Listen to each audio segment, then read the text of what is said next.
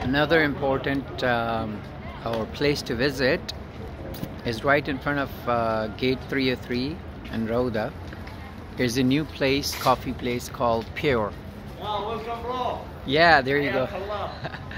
This is um, a specialty coffee. I think this is the very first one that I saw.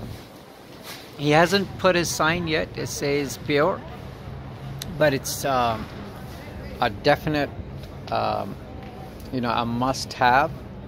Uh, excellent coffee.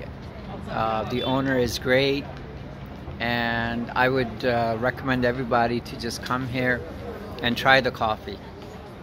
And uh, this is a very you know perfect location right in front of the Masjid Haram uh, that's the gate 303 on the south side when you walk out it's the I think the th- third shop on your right um, I'll visit again here and definitely uh, show you other uh, today I had a latte and it's excellent so also I'll translate it in Urdu.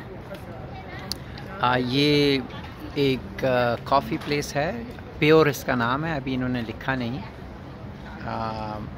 And ये specialise करते हैं coffee में और हरम की vicinity में हरम के आसपास में जो सबसे अच्छी कॉफ़ी है, वो यही है, जो सो फार मैंने ट्राई की है।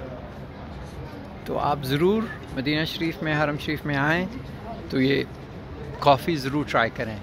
अभी इन्होंने साइन नहीं लगाया, पर इसका नाम प्योर है प्योर कॉफ़ी इन मैं फिर आऊँगा, फिर और यहाँ पे ड्रिंक्स ट्राई करेंगे, फिर हम करेंगे।